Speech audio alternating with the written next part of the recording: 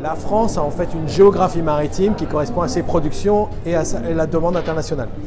En gros, on a, du cabotage maritime qui correspond à un nombre limité de produits pour un nombre limité de.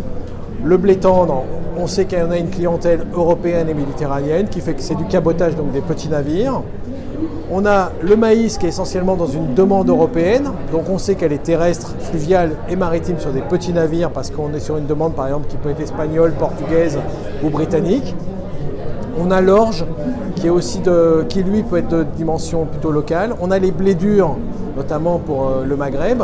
Tout ça c'est du petit navire. Et puis on n'a que deux produits qui sont vraiment très océaniques. En gros, c'est le blé, le tendre qu'on retrouve sur plusieurs destinations, par exemple l'Afrique de l'Ouest, le Moyen-Orient et maintenant la Chine. Et on a le cas de l'orge, qui soit brassicole ou pour, euh, l'alimentation animale, qui lui peut être océanique avec euh, l'Iran, l'Arabie Saoudite ou la Chine. Et là, on est sur des gros navires. Donc on voit bien qu'on a deux secteurs. On a un secteur de proximité euro-méditerranéen, un petit peu l'Afrique de l'Ouest, mais là on est parce que les chargeurs n'ont pas forcément beaucoup de moyens et les ports sont plutôt petits.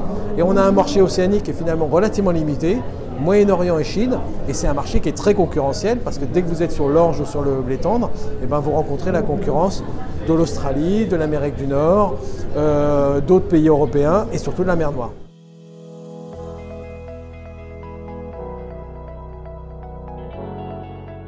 Le problème des ports, évidemment, c'est les gabarits.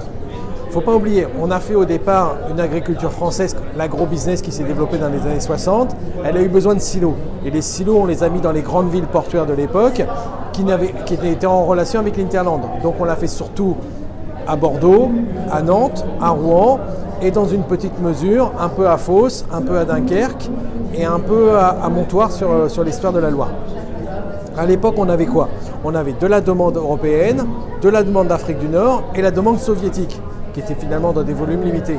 Depuis, on a une, demande internationale qui s'est développée. Il ne faut pas oublier la croissance démographique du monde. Donc on a une demande d'Afrique de l'Ouest, du Moyen-Orient, d'Extrême-Orient, qui, qui, demande aussi des volumes plus importants.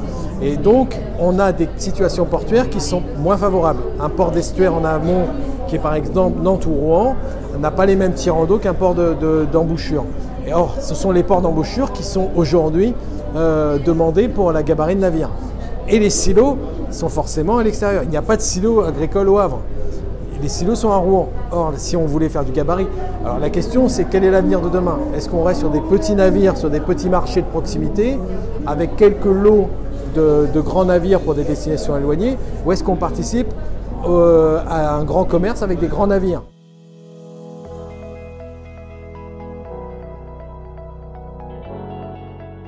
La question, en fait, c'est l'agriculture française elle-même. C'est qu'il faut elle-même qu'elle soit productrice. Or, peut-être qu'avec le réchauffement climatique, avec des pratiques agricoles, euh, moins, avec moins de fertilisants, avec le bio, etc., etc., peut-être que notre performance au grand export va se limiter. Et donc, laissant par exemple au Brésil, à l'Amérique du Nord et, euh, à la mer Noire, un jour euh, prochain où euh, Ukraine et Russie retrouveront des volumes, on va dire, pacifiés, euh, et que c'est peut-être eux qui feront le gros commerce, laissant à la France finalement une logistique, un, commerce du grain beaucoup plus diversifié, beaucoup de catégories de produits, des spécifications parce que différentes choses, sur des volumes plus petits, et en fait on garderait finalement des grains de proximité dans une logistique efficiente, spécialisée, abandonnant peut-être à quelques niches les grands, le grand export, laissant à des terres, et puis il ne faut pas oublier avec le réchauffement climatique, on ne sait pas où on va dans les grandes cultures. Qu'est-ce qu'on fera demain en Amérique du Sud? Qu'est-ce qu'on fera demain en Amérique du Nord? Qu'est-ce qu'on fait en Australie? Qu'est-ce qu'on fait autour de la mer Noire? Ce que fait euh, éventuellement dans des régions intérieures du Kazakhstan ou de Russie? Ce que est capable de faire l'Europe de l'Ouest. Donc c'est finalement une, illustration de ce que sont les filières agricoles. Elles ont des contraintes qui sont celles du climat, elles ont la contrainte évolutionnement de la politique européenne commune, agricole commune, elles ont des contraintes portuaires, elles ont des contraintes logistiques, elles ont des contraintes de demande de marché. Donc c'est ça qui la rend finalement aussi des complexités, mais c'est très 21e siècle entre guillemets. C'est véritablement problème de produits, problème d'origine, de destination, de conditions générales et de maritimité et de portuaire.